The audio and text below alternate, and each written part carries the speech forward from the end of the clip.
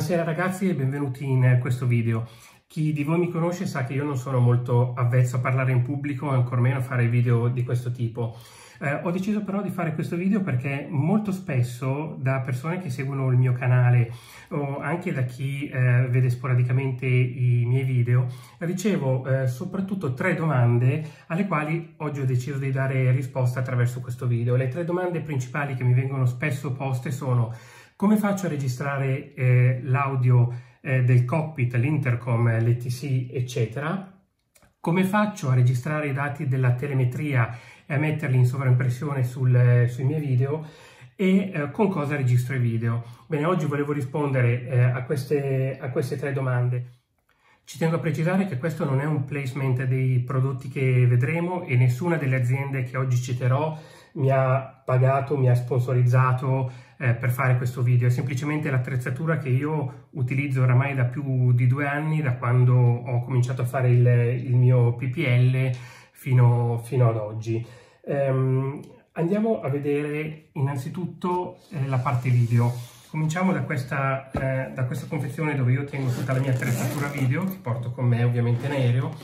Non vi mostro tutto quello che c'è dentro perché in realtà c'è un qualcosa di nuovo che eh, non ho ancora fatto vedere nei video, che spero di far vedere nei prossimi. Come sapete purtroppo ultimamente per via del Covid e per il fatto che la Lombardia è zona prima rossa, ora arancione, non è possibile volare, almeno voli di tipo ricreativo per, per, i soci piloti, quindi non sto riuscendo a volare anche per quello che non sto più portando video, ehm, ma diciamo che quello che c'è qua dentro magari ve lo spoilerò poi a, a fine del video. Cominciamo però con la prima parte che è come registro i miei video.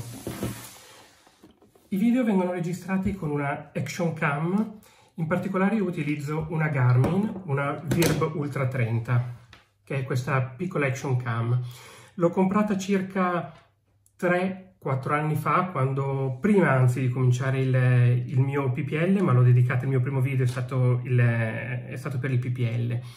Eh, è una cam che a mio avviso rispetto a GoPro è leggermente inferiore forse come, come video, anche se bisogna considerare che appunto questa oramai ha 3-4 anni, quindi bisognerebbe confrontarla con una GoPro dell'epoca ma ha una cosa che è decisamente per me interessante e che ha una, tutta una serie di sensori che sono proprio quelli che permettono di registrare tutti i dati telemetrici, quindi la telemetria che voi vedete poi eh, sui miei video. Infatti questa Action Cam ha una serie di sensori, tra cui giroscopi, GPS, barometro, eccetera, che permettono di registrare questi dati durante la registrazione del video. Eh, mettere poi in sovraimpressione in realtà è una cosa molto semplice. Utilizzo un programma della, sempre della Garmin, che tra l'altro è free, eh, lo può scaricare chiunque, anche chi non ha una Garmin, lo può utilizzare eh, chiunque, si chiama Garmin Virbedit. E questo permette attraverso dei eh, file contenenti eh, la telemetria, file che ad esempio anche le vecchie GoPro credo eh, producano, è possibile eh, sincronizzare il video con questi dati e poi attraverso questo programma ci sono dei layout che è possibile eh, mettere in, eh, in sovraimpressione sul, sul, video per far vedere i dati. Il, il layout che eh, vedete sui, sui, miei video in realtà è un layout un po' personalizzato, nel senso che non è, non è presente nel programma ma l'ho trovato su un sito internet, ora sinceramente non, non ricordo dove, dove abbiamo proprio i classici, i classici strumenti ehm, di aviazione, quindi che troviamo anche sulle, sull'aereo. Eh, quindi questa cam ci permette di fare, eh, di fare questo. Come vedete la cam non ha attacchi per poter essere agganciata a dei supporti. Io inizialmente utilizzavo questo supporto qui, è il supporto quello originale della cam che ha gli attacchi quelli classici GoPro, con lo sportellino però quello non subacqueo, quindi quello che ha il buchino dietro.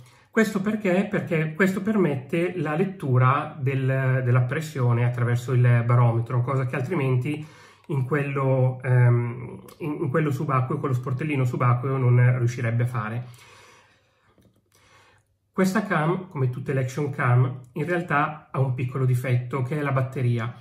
Eh, ovviamente per me il, la registrazione del video era qualcosa a latere del PPL ed è anche a latere del volo, nel senso che è bello avere le riprese, ma il volo, la concentrazione e la sicurezza prima di tutto. Quindi io quello che facevo era accendere la cam appena mettevo piede sull'aereo e la spegnevo quando avevo spento l'aereo ed era finito tutto, quindi quando stavo scendendo dall'aereo. Questo vuol dire che per un semplice volo, una semplice lezione anche di eh, 30 minuti di volo, se consideriamo il tempo in cui si sale sull'aereo, si fanno tutti i controlli, si accende l'aereo, a volte si aspetta il motore che si scaldi, i rullaggi, eh, il decollo, magari il tempo per raggiungere l'area di lavoro, di tornare, l'atterraggio, eccetera, a volte magari per 30 minuti di esercizio c'erano dietro un'ora, un'ora e dieci, un'ora e un quarto anche di, di filmati e la batteria purtroppo non, non reggeva. Eh, questa cam fortunatamente permette di eh, attaccarla a un power bank eh, attraverso questo spinotto qui in modo da poter continuare a, eh, ad alimentare la cam anche mentre si è in volo, ma purtroppo non si può con questo, sport, con questo cage, perché questo cage è il cage in realtà subacqueo alla quale è stato messo solo il, il retro non, non subacqueo, quindi è tutto completamente eh, ai lati eh, chiuso, impermeabilizzato e quindi non è possibile eh, attaccarci un power bank. Ho acquistato allora, sempre originale della Garmin, questo cage che mi permette di avere il supporto, gli attacchi per i supporti, quelli classici GoPro, ma avere anche liberi gli spinotti. Io eh, utilizzo come eh, per montare sull'aereo eh, due tipi di supporto. Uno è quello che vedete qua. Questa è una, è una clip, una molletta molto dura e molto resistente. L'ho acquistata su Amazon eh, della Fantasil eh, la trovo molto buona perché ha una buona presa, è molto dura, mh, mm, è molto stabile, non vibra, molto importante perché su un aereo di vibrazioni ne abbiamo parecchie, la cama è stabilizzata ma comunque sia meno vibrazioni abbiamo meglio è, in più ci permette anche di regolarla fino a 180-360 gradi, insomma in tutte le angolazioni. Io normalmente la pendo alla plafoniera dell'aereo e, eh, e poi l'angolo in modo da, mh, mm, diciamo, da prendere la strumentazione una parte di me e all'epoca il, il, mio istruttore. E questa è la clip che utilizzo quando voi vedete proprio il, il cockpit, quando vedete la ripresa del cockpit. Ce ne, mm, ne utilizzo un altro che però vedremo, vedremo dopo eh, per fare invece le riprese esterne. A questa clip ho attaccato questo sacchettino dove non c'è dentro nient'altro che un power bank, un power bank sinceramente anche un po' datato, non c'è bisogno di, di, grandi, eh, di grandi potenze perché comunque sia basta veramente che mantenga eh, la cam accesa per, per, poco, quindi power bank anche molto più piccoli di questi vanno bene. E eh, ho utilizzato, utilizzo un cavo retrattile dal power bank alla cam perché eh, per avere diciamo il minor cavo possibile in giro e non avere cavi molto lunghi ehm, che potrebbero dar fastidio, anche in questo caso il, il fastidio deve essere sempre ridotto, ridotto, al minimo, però averlo retrattile mi permette comunque di, avere, di poter gestire anche più situazioni nel caso eh, ci fosse la necessità. Questa è la parte con cui io registro il, eh, il video. Alcuni di voi mi chiedono come faccio a registrare eh, l'audio dell'intercom attraverso l'action cam. Ecco, in realtà non utilizzo ehm, l'action cam per registrare l'audio eh, per un semplice motivo. Eh, voglio tenere anche l'audio, eh, quello originale registrato dall'action cam, quindi il rumore del motore, ma molto importante anche per esempio quando si, faceva, ehm, si facevano lezioni, si faceva il PPL, avere ad esempio lo stall warning, piuttosto anche, che sentire, piuttosto anche eh, sentire le variazioni del motore, sentire un motore che eh, pianta anche se solo in modo simulato, eccetera. Eh, quindi diciamo che io in genere, benché riducessi eh, il eh, l'audio della action cam in modo che non desse fastidio perché il motore ovviamente è preponderante eh, lascio che l'action cam registri l'audio così com'è. Allora andiamo, eh, passiamo a come registro l'audio dell'intercom. Qua abbiamo tutto il mio reparto audio, Vabbè, a parte la, la quick checklist che utilizzo eh, per montare sullo, sullo yoke, questo è quello che io utilizzo per, per l'audio.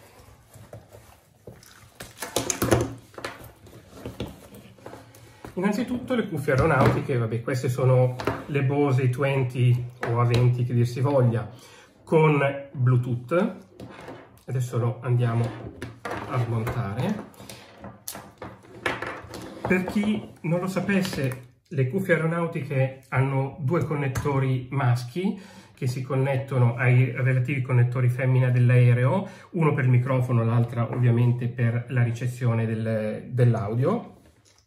Queste hanno eh, l'ANR, quindi l'Active eh, Noise Reduction, eh, quindi la riduzione attiva del, eh, del rumore, quindi questo è per la gestione della riduzione attiva del rumore, per la gestione del, ehm, eh, del Bluetooth e dei volumi.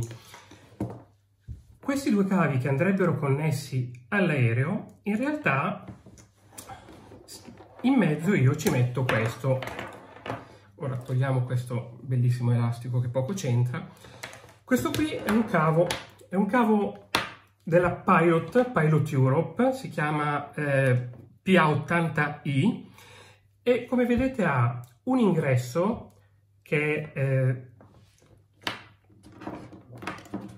un ingresso che è dove si connette il connettore che dovrebbe andare all'aereo e abbiamo poi due connettori. Uno, il connettore che va sempre all'aereo, l'altro è un connettore, un jack da 3,5 che io faccio entrare in questo digital recorder.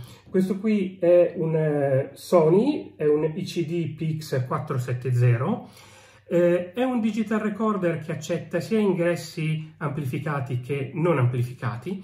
Io semplicemente faccio entrare nella parte microfono questo, eh, questa estremità del cavo, questo jack, e registro l'audio con questo. In questo modo io qua dentro ho esclusivamente l'audio puro come si sente nell'intercom, quindi non ho più motori, il rumore dei motori, i rumori esterni, eccetera, perché è proprio quello che si sente nell'intercom e tra l'altro viene filtrato anche dai microfoni delle, eh, delle cuffie.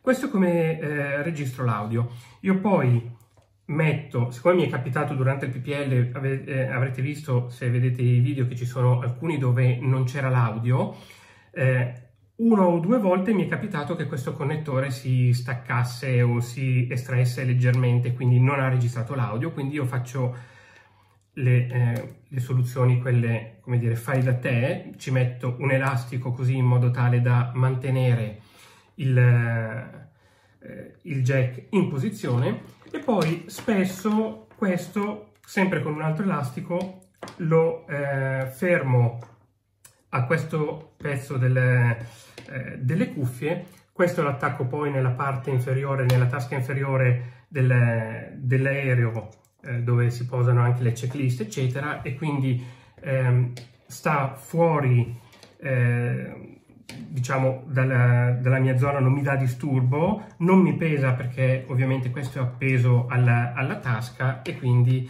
eh, diciamo è una soluzione che ho trovato sempre eh, molto comoda altrimenti si possono tenere staccate le due e questa metterlo semplicemente nella tasca eh, dell'aereo. Eh, questo registratore ha già una memoria interna ed è possibile mettere anche una SD card. Io se ricordo bene non ho messo SD card perché comunque la memoria interna sono mi pare 4 GB e fate conto che a dire, eh, a dire tanto ehm, non ho mai avuto file più grossi di 150 eh, megabyte se, se ricordo bene. È inoltre anche molto comodo perché qui sul retro ha questo slide che fa uscire una USB e quindi io posso semplicemente infilare questo in una eh, USB del, del, computer o addirittura io ho una prolunga USB in modo che tengo sempre l'USB attaccata al computer e poi l'attacco qua e posso scaricare veramente in pochissimo tempo i, i, miei file. Questa è la soluzione che io adotto per registrare la parte, eh, la parte audio. Avevo detto che vi avrei fatto vedere anche un altro eh, supporto che utilizzo e avevo detto che vi avrei fatto anche un piccolo spoiler, lo faccio in un colpo solo, riprendo la mia parte audio, eh, chiedo scusa, la mia parte video e tiriamo fuori il nuovo gioiellino che eh, ho comprato proprio pochissimo tempo fa, una GoPro Hero 9, quindi l'ultima uscita eh, di casa GoPro, con una eh, lente speciale, eh, una mod, questa qui è una modifica alla, alla lente eh, standard di GoPro, è una lente grandangolare eh, che permette però molte, molte altre cose. Questa, questa, cam ha una funzione, ed è per quello che l'ho presa, che eh, a me interessava tantissimo, che è quella del mantenimento dell'orizzonte, quindi eh, mantiene l'orizzonte sempre livellato e fa vedere proprio, eh, il, diciamo, in ambito aeronautico dovrebbe far vedere proprio il bank dell'aereo. Eh, con la lente normale però eh, è limitato a un solo eh, FOV, quindi un field of view eh, particolare ed inoltre è limitato ai 30-45 gradi ehm, e non era proprio perfetto. Con la lente invece c'è la possibilità di avere un eh, grandangolo perché altrimenti questa, la funzione di eh, stabilizzazione più la funzione di HL, quindi Horizon Level, eh, avrebbe croppato molto l'immagine. Con il grandangolare il crop diventa meno evidente, in più questa lente permette di avere la stabilizzazione dell'orizzonte su tutti i 360 gradi, quindi banalmente anche in una virata a 45 gradi io vedrò l'orizzonte sempre livellato. Eh, senza questa modifica probabilmente eh, la stabilizzazione più eh, l'HL, la funzione di Horizon Level, non sarebbe riuscita a mantenere l'orizzonte livellato. Eh, questo qui era lo spoiler. Eh, cosa vorrei farci con questa, con questa qui? Beh, vorrei fare, eh, usare questa per le riprese esterne eh, e utilizzare invece la Garmin per le riprese interne.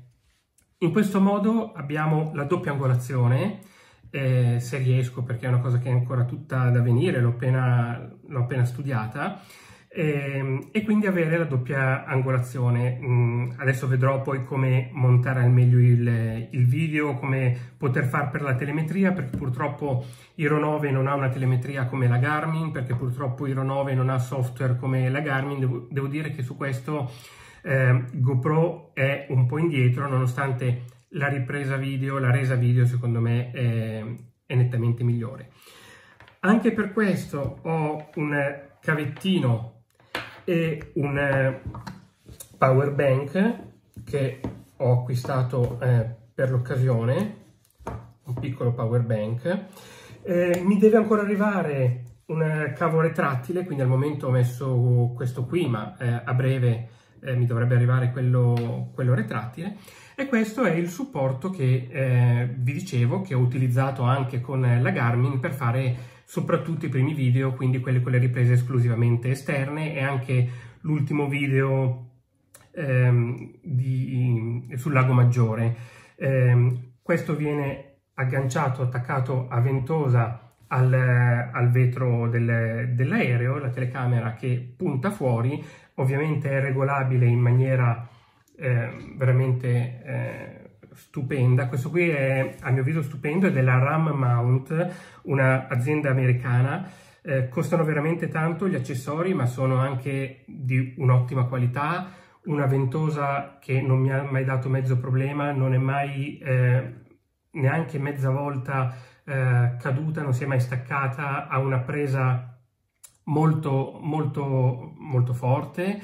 Eh, ricordatevi però che eh, le ventose sono una buona soluzione quando state a quote basse perché poi la differenza di pressione fa in modo che le ventose non siano più così eh, adeguate ma sicuramente per le eh, quote che eh, utilizzo io mh, al momento alle quali volo io non, alcun, non c'è alcun problema. E, e, questo appunto è un accessorio della RAM mount con una doppia sfera.